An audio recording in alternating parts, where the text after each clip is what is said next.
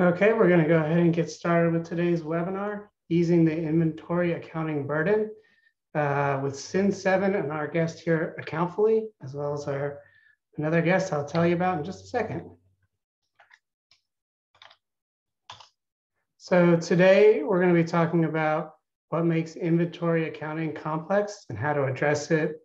Uh, we'll dive into how the right inventory management solution can help, and we'll have a conversation with the customer my name is Stephen Selgrade, Marketing Director at Cin7. I'm just the host. Shortly, I'm going to turn it over to the, to the smarter folks on the call here. We have Brad Ebenho, CEO of Accountfully, Kevin Bukowski, Account Exec at Cin7, and then our final guest, we're really excited to talk to a customer, Keely Tillotson, uh, Operational Consultant at Ground Up. And I will turn it over to you, Brad. Well, nice to meet everybody. Just as a way of introduction, um, Brad Ebenho, CEO of Accountfully, as, Stephen mentioned, Accountfully, we are uh, essentially an outsourced accounting department that uh, specializes um, in emerging brands CPG. Um, and and as we've uh, specialized that from an accounting perspective, we've got a, a lot of, of inventory based clients. Um, we've been around for over a decade and, and work with a lot of a lot of brands um, uh, across the nation.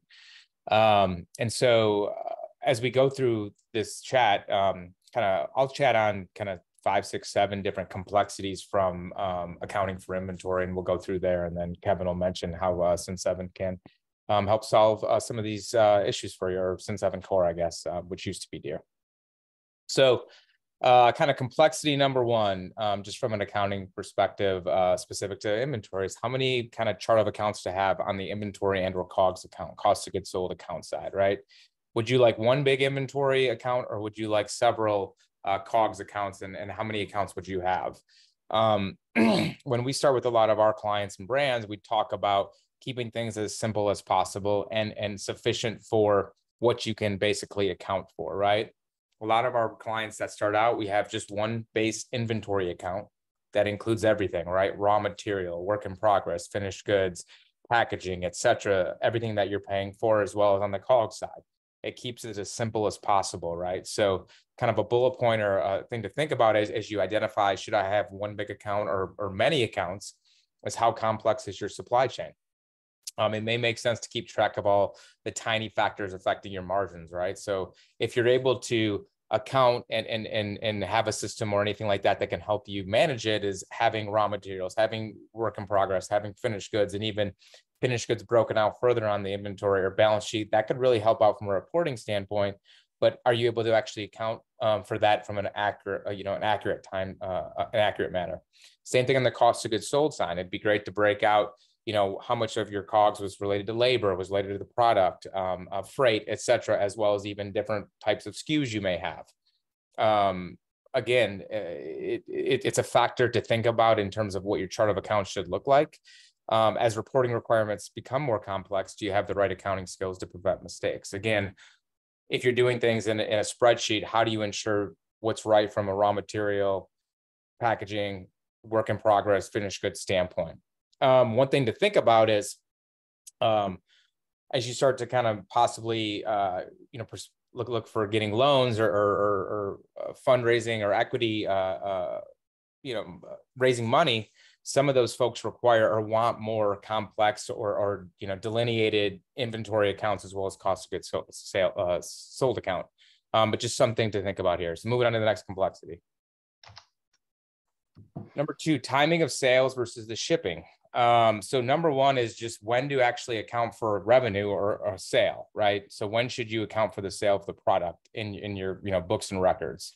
Um, kind of the example that we use basically is we recognize the the ship date is the date of the sale, right? So the day the product leaves your your warehouse, your 3PL, that's when it's revenue on, on the books. Um, and we do that even if we use an inventory management system or, or we don't. Um, that's basically the right way to do it. But also, if you account for revenue before it's actually shipped out, and there's let's say it's over a two month period and there's some issues there, or uh, over a, uh, you know the the sale date was February, the shipping date was in March, and there's a time period there. But when you're doing an actual inventory count, for February, if you've already sold the product in your books, but it's still there, then there's going to be an inaccuracy or discrepancy there. So deviations in dates between the invoice date and ship date affect financial reporting. Again, the invoice date's revenue, the ship date affects COGS, um, and setting a standard is key. So the end of the day, just as you like uh, start brainstorming or thinking about, you know, accounting for sales and shipping dates and things like that, like how would you account for that? If you look into like QuickBooks Online, if you just use that, basically the sale date and the shipping date are the same exact date and on the same transaction. Whereas if you get to an like inventory system like DIRS and Seven Core, those two dates can change based upon the actual revenue date versus the shipping date, like from an actual transactional standpoint. So just making sure you have a good process for that. Complexity number three. Sales channels and their reports. So um, more sales channels means more revenue, but also more sales reporting complexity, right? So as we kind of go through and brainstorm various sales channels that exist, right? On your website, majority of you are, are using Shopify these days, right? On Amazon, selling on their platform. What about selling in Mabel and Faire, um, as well as uh, uh, different reseller platforms um, if you're not in the kind of the food and drink space? Um, there's just a lot more complexity that exists. We have clients that don't sell that much, maybe a couple hundred grand of revenue annually, but are in like 10 different sales channels. And every one of them provides complexity and time and effort in order to properly and accurately account from uh, an accounting perspective and financial reporting perspective. So overall, the more sales channels means more revenue, but also means just much more complexity. Bullet point two here is one aspect I really want to kind of uh, challenge and have you all think about is really like, do you know the gross revenue for each channel? So let, us walk through a couple of things, specifically, let's say Amazon, right? Um, Amazon FBA, um, they're fulfilling your products, they're selling it, they're doing a lot of the work. Well, guess what? Every two weeks, you get a deposit in, right? When if people, some of our some brands, are you accounting for that and putting that right to revenue, that deposit you got from Amazon, or are you kind of putting it over in a holding or clearing account and then actually accounting for actual gross revenues, right? So let's kind of talk about that. They're giving you a net amount of what they owe you after what you sold, less all the fees and transaction, you know, costs that are taken out. So a lot of clients that come to us have this basically cash basis number of their of their revenue, but they don't actually have it grossed up to what was actually sold, which is more important from what is my top line revenue for my brand and understanding from a financial reporting and P&L standpoint. So for example, recognizing, you know, from a, a structural standpoint on your profit and loss statement, gross revenue, sales of product um, that you sold times like the gross, you know, sale price for that product. Then you go down to net revenue, which is basically after you've taken out discounts, deductions, et cetera, from those sales, right? And then on top of that, like what else is taken out? The Amazon's taken out, right? Credit card fees or merchant fees, uh, pick, pack, and ship, um, shipping costs, um, chargebacks, that type of stuff, right? And then the amount that you have left over is what they deposited. Well, if you count for that for your revenue or gross revenue, you're missing a lot of information for you to help you understand what is my gross revenue and what really am I uh, getting after my landed costs and everything for my product. So that goes to bullet point three, like, are you including all the costs associated with each channel? So just understanding all the costs how you get paid from those channels and if there's already costs taken out of those products or those deposits you get and then making sure you're adding them back up right so um, if you're kind of looking at that as you can see then that brings complexities for each different situation whether you're getting paid every two weeks by amazon or whether you're getting paid every day in credit card deposits from what you made on your website or if you're just getting paid directly for a wholesale invoice for your customer and then point number four here just SKUs just kind of your SKU number, your unique identifier for each SKU on Amazon, on Shopify, on Faire, on Mabel, on you know on uh, uh, Overstock.com, wherever you're selling, right? Are they different across those uh, sales channels, or are they same on your website? So if they're different, it can be really hard of understanding and how to account for sales by product as a whole as an organization um, within just QuickBooks Online, let's say, as well as accounting for like all those products on a, on a cost of goods sold basis. So overall, like this is sales channels. And, and if you just think kind of inherently, oh, let's go and sell in every sales channel that exists and let's go and get our product out there. Well, there adds a lot of complexity from an accounting and financial reporting standpoint. Moving on to complexity number four. Thanks, Brad. I'm actually going to bring in oh, Kevin real oh, quick oh, yeah. um, to kind of talk about how inventory management software can can help with that complexity you just talked about. So I'll turn it real quick over to Kevin and and then back to you, Brad. Sounds good.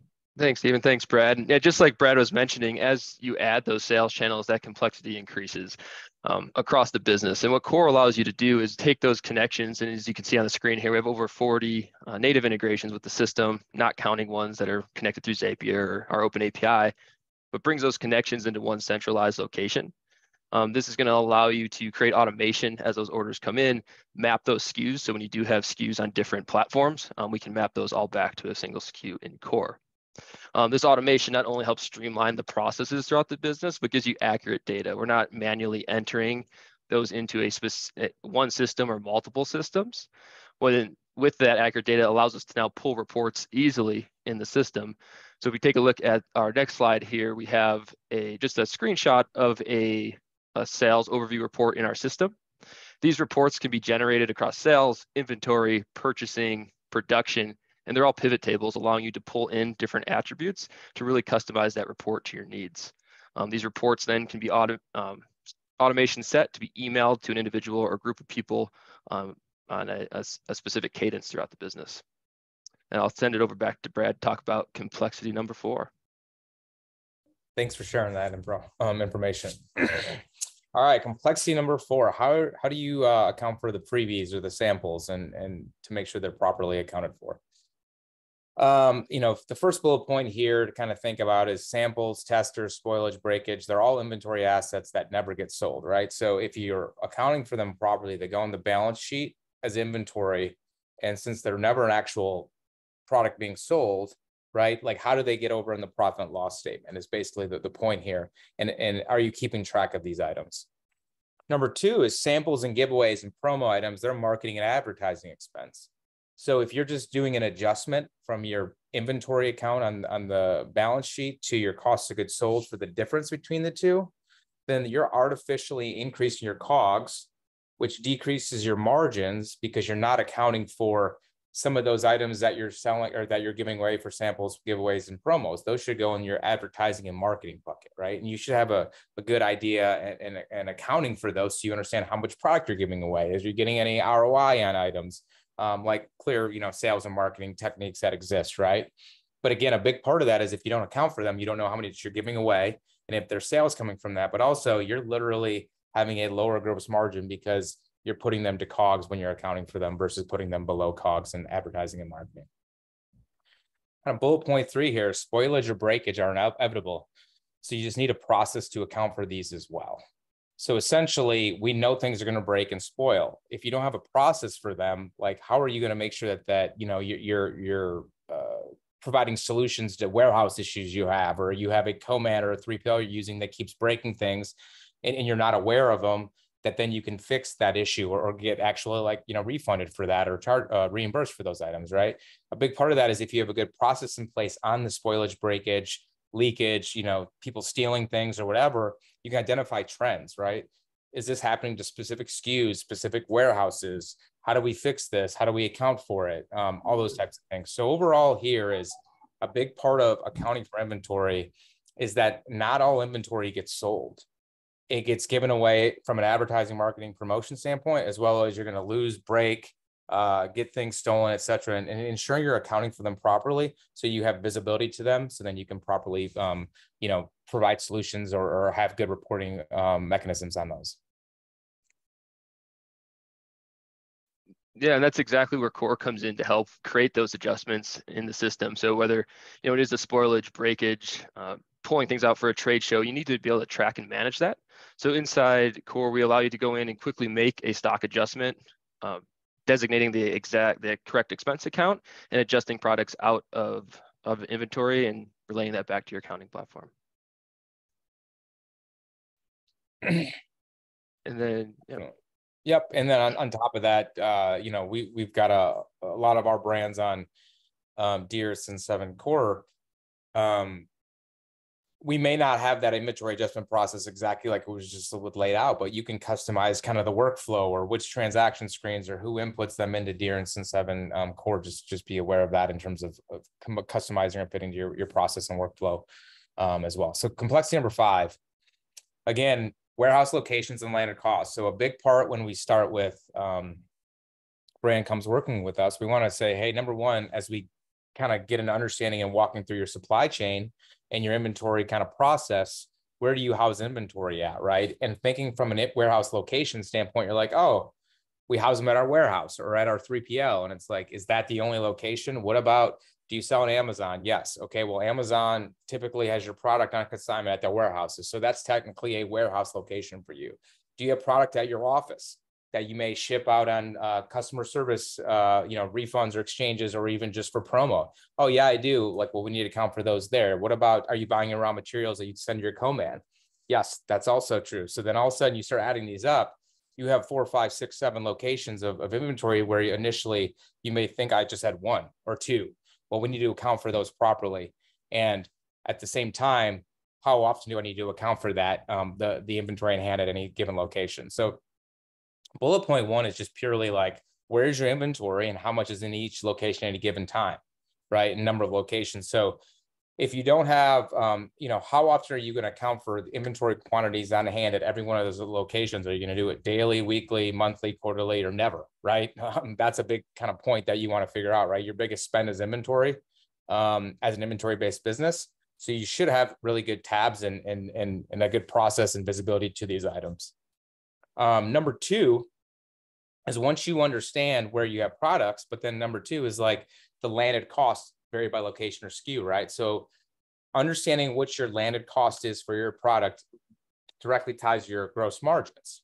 Um, what does landed cost mean? Basically means everything getting all your costs incurred to getting the product ready to sold warehouse, right? So you're talking about co-man fees, uh, raw material product, um, uh, packaging, etc., freight in, um, all that stuff that gets into a product ready or a warehouse ready to sell.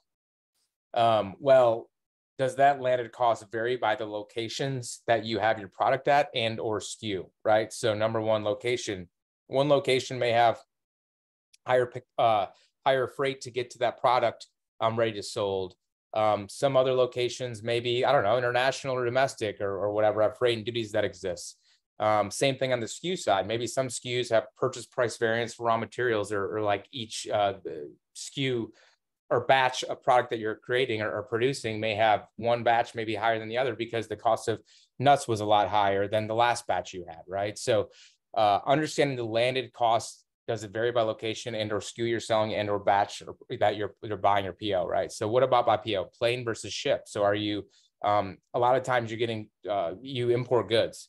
A lot of times the ship's bringing them over, that's a lot cheaper, but sometimes you have to rush uh, shipment via plane for whatever reason. Well, guess what? those adjustments or those uh, landed costs for those different batches or purchase orders are completely different. Understanding those so you can make better decisions on when to do that if you have to goes a long way. And then number two here is purchase price variances by raw materials. If you don't have an IMS in place, you may be using an average cost or standard cost. Well, what happens if those price fluctuations exist consistently, right? So thinking about those and how you account for those.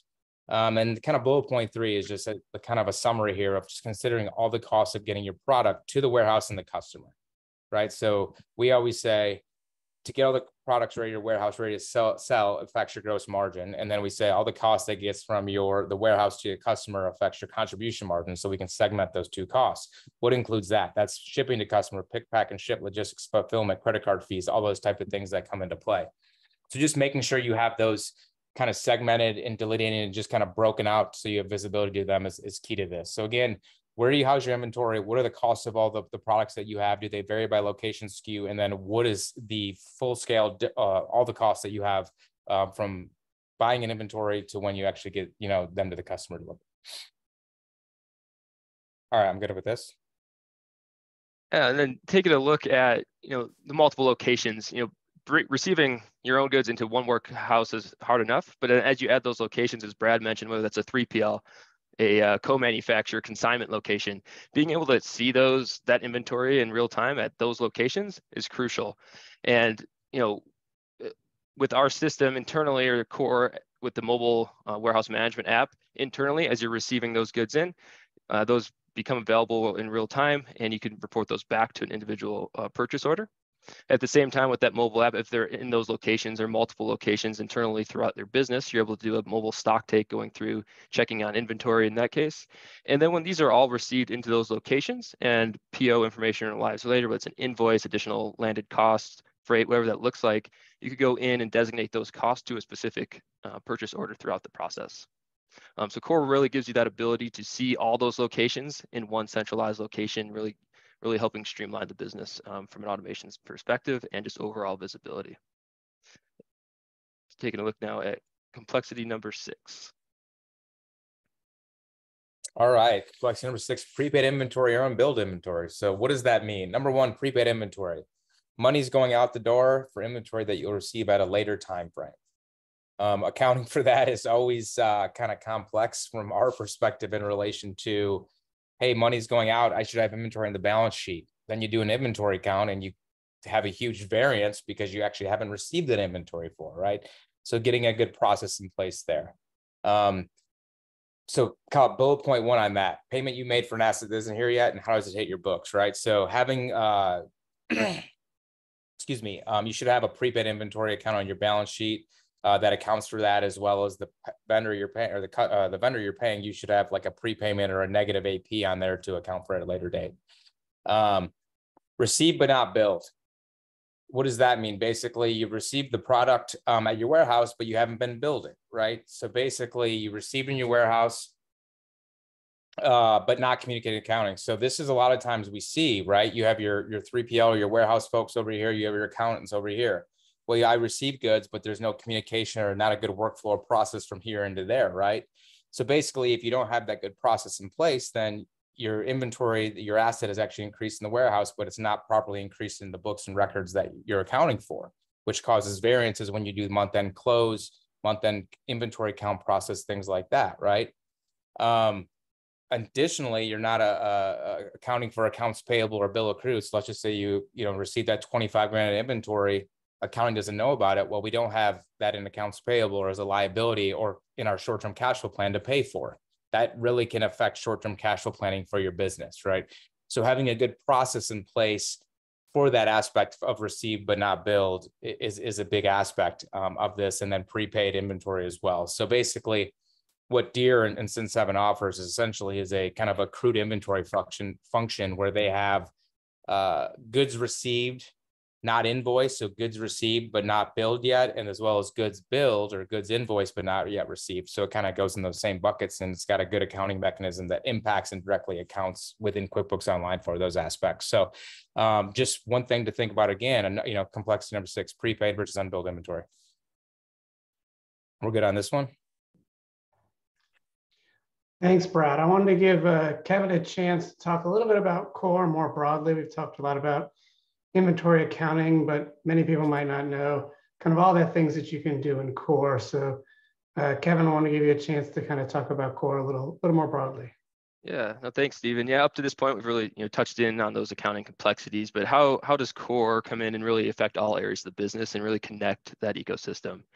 Um, every day, we're talking with customers, and here a common trend across across those uh, prospects and customers is their business have segmented or disparate parts of the business that aren't communicating with each other. You have purchase orders that are living over in these spreadsheets or in this email address. You have sales orders coming in from these multiple channels, and then maybe someone's inputting them into one system or again, multiple spreadsheets. And eh, eh, then after that, you know, it, it goes to the, the warehouse and the warehouse has a process in place and no one's actually sure what's where and when. And a conversation I had a few months back with a prospect kind of, I think really resonates with that kind of situation. Um, I was working with this prospect and um, I asked him what the challenges were that they were currently experiencing, and he told me that he doesn't feel like he's in control of the business. Um, naturally, I asked, you know, what he meant by that, and he went on to explain that currently he doesn't have a clear picture of what stock he has incoming, where it's coming from or going to. He doesn't know exactly what he has in the warehouse that's available to sell at a specific moment in time. And then the nail in the coffin for him, which is you know driving the search, is recently he had a customer call him to let him know that they were never invoiced for a sale and that they haven't paid for that yet. Luckily, this was a, a nice customer and called him to let him know that. But for him, that just really drove home the point that he needs something in place that can give him that visibility. Um, this is where core really comes in and uniquely solves those situations. Core becomes that single source of truth across all aspects of the business.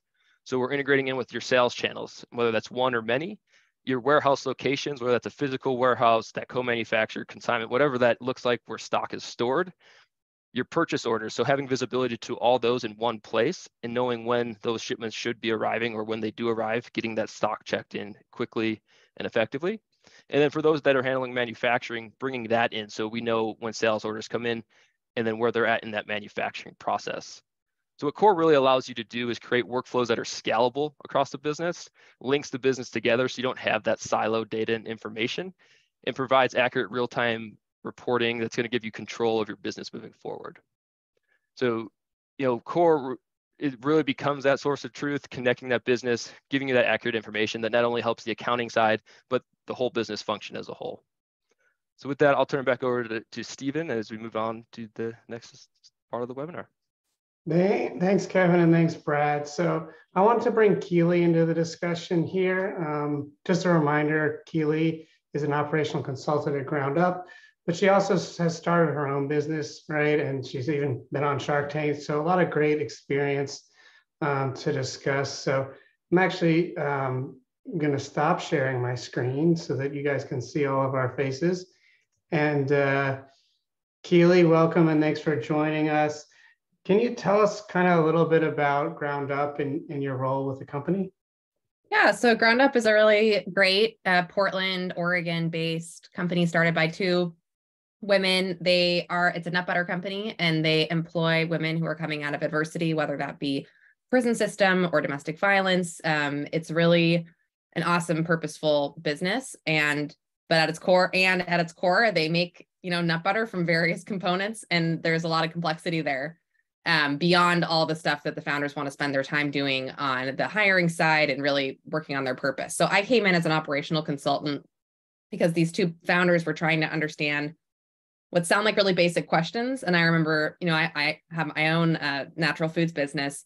Investors or other people or what have you saying, you know, you just got to know your margins by product. Like it was the simplest thing in the world. Or, you know, you just got to know your bottom line and what you're making in every channel. Like you could just snap your fingers and have that information. And um, it's they're simple questions, but it's complex as you guys just went through. So we ended up working with Accountfully for my last business. So I also suggested to this um, these women that they work at Ground Up that they work with Accountfully, and because of that, we've worked with DEAR and now since now since seven twice. I've done implementation twice with these two businesses, and um, you know, I think without a system like this, it's very difficult to answer those simple questions because you need to be able to know what you're making, what you're making it with, how much it all costs, all these details. Uh, and it's been really empowering to see how it's given this business the ability to chart their path forward. If you want to ask questions like, where should I double down?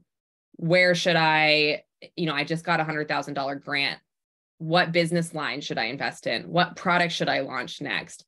If you're a business like Ground Up and you're focused on profitability, unless you know your margins by channel and product, you really can't answer those questions. So doing something like this, even though you know these prior slides have showed what a lift it can be, there's a lot to think about and a lot to do, can really add a lot of clarity to your business. So it's been really, really cool to see how that's helped this great business set themselves up to be able to scale now that they're in a position to do that. That's awesome. And you've touched on this a little bit, but kind of what have you or maybe some of the folks at Ground Up liked about using both Accountfully and, and Cin7 Core, formerly DEAR? Well, I do think it's really important if you're going to work with an inventory management system that whoever's doing your accounting be either already familiar with it or like awesome at learning alongside of you because otherwise you're going to end up doing a lot of the accounting. There's just it's so interconnected. All these transactions that are going back and forth between your accounting system and DEAR. Um, and with Ground Up, we initially implemented DEAR and then brought Accountfully in later as we it became very clear to us that a traditional bookkeeping setup that didn't have experience with an inventory system wasn't going to be the right fit to make it possible. Um, you really have to understand all of the intricacies of how it works. It kicks out a lot of different little transactions whether it's a sale or a purchase or a um, inventory adjustment or any of these things. And it having someone who has experience with that definitely makes the whole process smoother one of our. The experience really helps. Is that is that kind of how you build trust with uh, you know going to these vendors with you know basically almost the keys to your kingdom is is is can be a tough decision for some companies. Um, and how important is kind of trusting trusting those vendors? Well, it's really important, but I also think there's just no replacement for as the founder, as the person running the business to familiarize yourself with how the systems work, right? The, the worst thing as a founder is to get caught off guard. Like you get your financials and they look totally different than you expected, and you don't understand why. Um, I think one of the hard things about being an entrepreneur that I experienced and that you know I see with my clients is that you you do need to have a high level understanding of this is anyone joining this webinar you know you're doing that for yourself right by being here is understanding how does it work? What should I be thinking about before you pass it off? You don't have to understand every journal entry your accountant makes, but I find it really helps with the relationship if you understand things like when do we record sales? When they ship or not, right? Like understanding those sorts of um, fundamentals will really help you trust your accountant because ultimately you want to be able to check in and make sure things are done correctly. You don't need to be a bookkeeper to do that, but you should have some basic roles and functions. And if you notice those aren't being followed, then you need a different partner. Um, if you don't have that basic understanding, it can feel very stressful. And that's that's a service that I provide by being a consultant. I think that can be really helpful when you're making a transition like this, is having your own consultant who has all that familiarity um, and who's on, you know, your team for the interim and who can do things like play, check, check to make sure that your accounting team is following through on what they said they would do for you um, because they're not all created equal and not everyone is um, you know not every third party you'd hire for your company is going to do it exactly the way you want. So uh, i think putting some checks in place and not just blind trust is is is key to feeling like you got a good partner.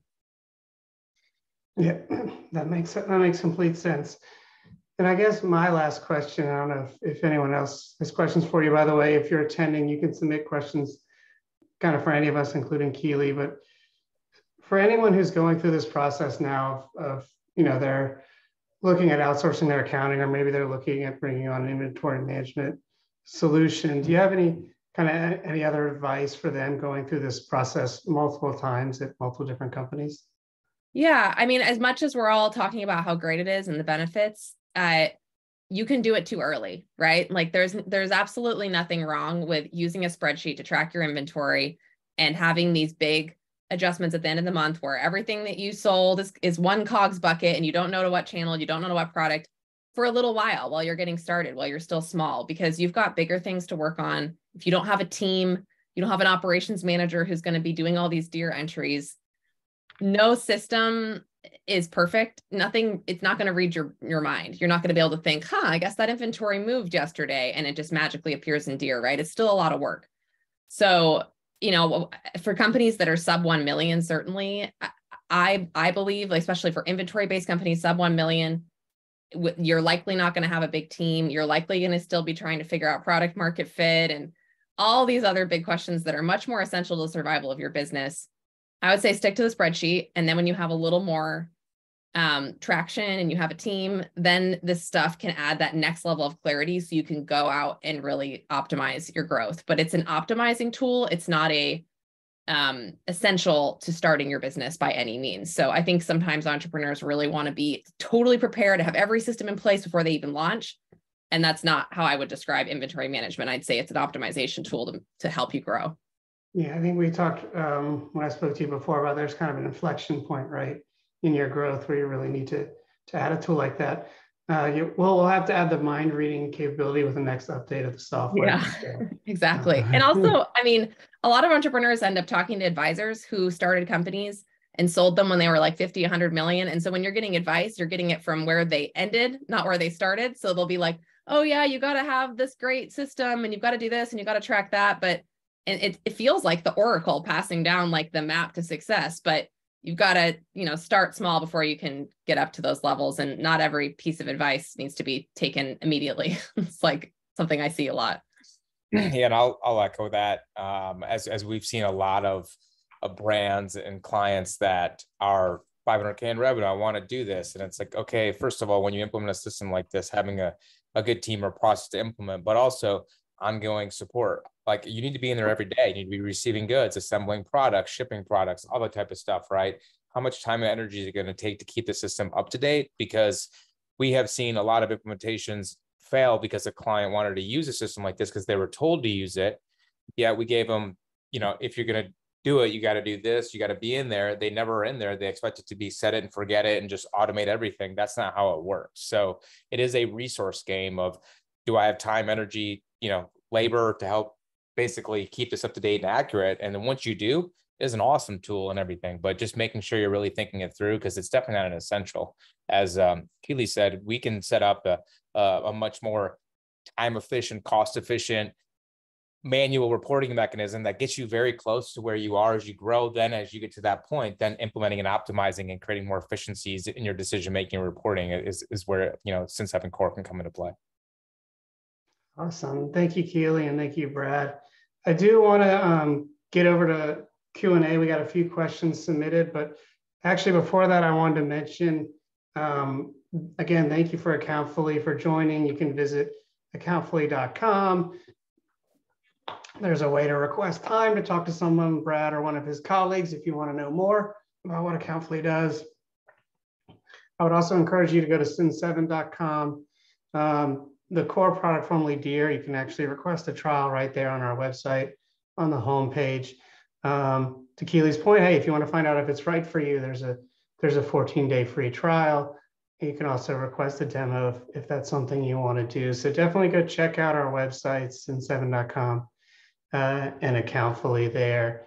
Now let me, we have a few questions that were submitted, so I'll open these up to all of our speakers here. Now the first question, are there any templates available to assist with setup? Uh, for example, I've done inventory, but I don't know I set up inventory for, for a food client. Um, Kevin, I don't know if you want to take that um, as far as like templates. I know we've published some stuff on our website.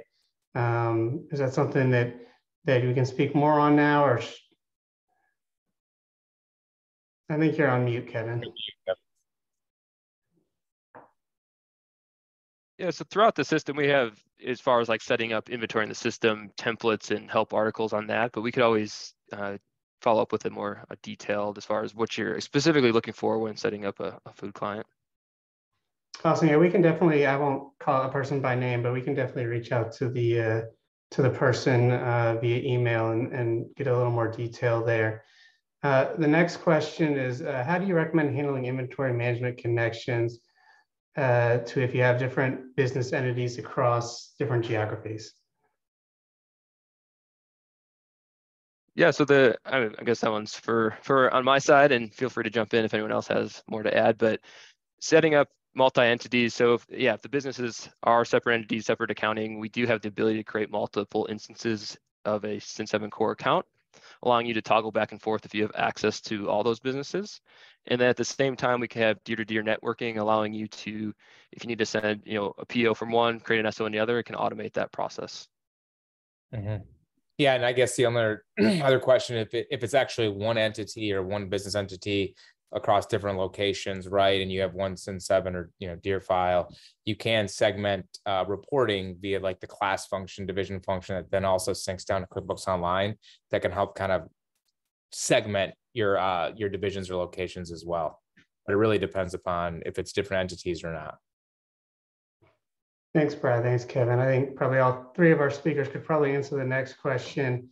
Uh, how about forecasting and reordering from contract manufacturer or packing for the BOM. Keely, how do you do that? You... Yeah, so I mean, I inevitably end up working in Excel um, to do this sort of thing because it really every business is different. So, I mean, what what is nice about DEAR is that so many of the core elements or Cin7, so many of the core elements you'd need to build whatever you want outside of Cin7 are available to you. So you can download all your BOMs, you can download all your past sales, you can download all these reports and then make them speak to each other however you want in Excel. So the way we do it at ground up is we pull we you know we pulled all of our BOMs and we pull them regularly because they're always changing or we're adjusting recipes or whatever Um, and then we'll pull our past sales and we'll use that to forecast how much we'll need based on, you know, what we sold in the past and what we want to sell in the future using the BOMs as the core numbers that drive how many almonds we'll need or how many jars or what have you. There's a, a lighter weight do it way to do it in Cin7 where you can go in and try to, you know, create an assembly and it will tell you how much you'd need for that assembly. Um, that's very a much more straightforward way to do it where you just go, hey, I'm gonna go make a thousand cases and you press the button to, to see how much you would need and it will refresh it for you. Because we have some, you know, so many products that ground up and more complexity, it makes sense to do it in Excel, but there is a lightweight tool that we've used in Cin7 to do that, just to get a quick glimpse at how many jars we'd need or something like that. Yep. All right, thank you. The next question, are there any reports that will show cost of goods sold for customer invoices that have been paid but not yet shipped? Um, So, interesting question. I think so. Go ahead, Rob. so just kind of walk through the, the, the mechanics of this. When on a customer invoice or a sale, uh, you're able to do uh, an invoice date, which basically recognizes revenue and uh, account for accounts receivable, and then the ship date, which is you know the cost of goods sold date. Um, basically, that have been paid but have not yet been shipped. So essentially, like I'm not. It's kind of a confusing question, but you're able to see. Uh, you can invoice a customer without shipping them product and they can pay you without even shipping the product with the two different steps in in in, in um in Cin7 core on their end they probably should receive the product first or depending upon the terms of the relationship unless it's prepaid um so in short how the accounting and, and Cin7 core integrate yes you can get these reports in terms of what invoice has been paid what has not been paid and what hasn't been shipped yet as well. All these you know screens are in there and, and reports you can see. Yeah, and just to tag on, if you wanted to see the cost of goods sold once it ships, then you could pull a report that shows the value of the product on hand, and then you could you could see what you would be shipping and how much it, it cost you to make. If you wanted to know, like, hey, this I sold it for ten thousand dollars. I want to know how much it cost me to make it before I even ship it. You could go find that information in in Cin7 Mhm. Thank you guys, appreciate that. Um, there's also a few, a few very more specific questions in here. Some of them we're gonna have to answer, I think via email, uh, but we'll definitely get to all these questions. Um, somebody asked if the webinars are gonna be recorded and sent out. Yes, we'll, we'll send out the recording to anyone who maybe jumped on a few minutes late. Um, there's another question, does DEAR slash Cin7 Core offer financial reports like balance sheets uh, or P&L? Uh, could that essentially replace Xero or QuickBooks Online? Um, we do integrate with both of those things, uh, whether that replaces them or not. Um, that's a probably a longer question and specific to your use case, but um, I don't know, Kevin, if you want to answer the question about uh, financial reports like uh, balance sheets and profit and loss. Yeah, so we we have different reports that we could pull in there and we can definitely get some examples over to you as far as like exactly what you're looking for there, but we can pull up uh like forecasting reports and things along those lines. Yeah, and, and I'll touch base on, Yeah. on the question here related to like a balance sheet. You can use Cin7 Core by itself as the general ledger, your financial reporting. It does have that functionality. Um, the actual accounting and and and and how you do that is not very well done versus how you can use like a Xero or a QuickBooks Online, right? So number one, I wouldn't advise to it. I would advise DEAR, you know, Cin7 Core to use from an inventory management, sales, AR, transferring that aspect, and then set up the integration to QuickBooks and or Xero properly to then kind of create your efficiencies in, in your accounting and financial reporting. Remember, when you're running a business, QuickBooks Online is here, right? That your general ledger or Xero. There's a thousand other things that are going on with your business that aren't just related to inventory, right? So you could use Cin7 Core for all your inventory management, all sales flow through everything like that. But what about your payroll system? What about your bill payment system? What about your expense management system? Expensify, Bill.com, Gusto. Uh, what about your reporting dashboard? If you have like a Fathom or things like that, right? Well, none of those really integrate directly with Cin7 Core, but they integrate well with QuickBooks Online. So you understand kind of what the whole um, in the day and age we live now, of open APIs, software as a service, like identify what really these systems do well and what you need. And then a lot, all of them share data between each other and how can you set up efficiencies and integrations between them. So in short, System Core is awesome from an inventory management and ERP kind of uh, standpoint, as we've been discussing, just being cautious of how it's set up. And, and, and if you want to try it, that's fine. But just like, I think getting some examples and in, in conversations and dealing with people like us to tell you that's probably not the best bet or it is the best bet. Thanks, Brad. I think that's great. We have, I'm going to take one more question live. And then again, if you asked a question that didn't get answered, we have a lot of good questions here. Uh, we'll get you an answer in the next probably 24 hours via email. Uh, but this one's an anonymous question, so we cannot answer it. Uh, we have to answer it now, essentially. Actually, I'll, I'll take two more anonymous questions because we, we can't answer those by email. This one's for Brad, uh, specific to accounting for revenue uh, of the ship date. If the client is invoicing prior to shipping, do your clients use some type of deferred revenue accounting? Yes. If uh, two things, in a perfect world, you'd have the same dates, and you can. I think in Cin7 Core, you can set like set the the the invoice date as the ship date if if they're in the same transactions. If you do have like revenue in one month versus the ship date in the next month, you can easily pull a report into Cin7 Core of like, hey, which ones were shipped or invoiced last month versus here, and do a journal entry in QuickBooks Online. Again, like that gets to more complex reporting. Do you really need deferred revenue or not? Is it really material to your monthly financials? It may or may not be but yes, like from a GAAP based uh, perspective, from a financial reporting, doing that is, is the right way to do it. And we do that for our clients if they, if they want that level of reporting. Thanks, Brad. I appreciate that. Um, I guess the, there's another question about uh, Cin7 onboarding. Um, I guess does Cin7 do onboarding for core or is it all through, uh, through an outside party, uh, a partner? Yeah, so internally, we do offer some implementation support to get you up and running. Um, it's more guided support training on the platform, getting things connected. With the third party, you're going to receive more of that handholding approach, working with your workflows and getting you set up uh, specific to your business. Our implementation is there to help, though, along the way. Thanks, Kevin. I appreciate that. And and what's like how this is just my follow-up question to that. What's like the average implementation time? I think it's much faster than ERP, correct? Yeah, and really it'll come down to the business themselves and one their their availability as long as you know what what they're doing. So you know, manufacturing client's going to take a bit longer than someone connecting a Shopify bringing in finished goods. So it really depends on their timeline and what they're working to do. But it would it's not going to you know, it's not going to be as long it's as weeks, not weeks, not months. I think, right? So that's Correct. that's an important differentiation between, say, an ERP product. I, I, I think that's that's all the time we have for questions. Again, we can uh, we can answer people's questions we didn't get to via email, and we'll definitely do that in the next uh, day or two at max.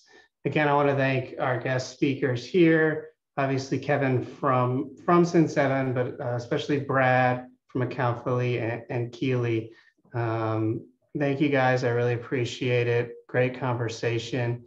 Um, again, if people have any other additional questions, you everyone's going to get the recording. Uh, you can reply to that email um, or visit any of our websites and raise your hands with, with questions, and we'll, we'll be happy to get back to you as soon as we can. Um, but with that, I'm going to close the webinar, and everyone have a have a great rest of your day. Thanks,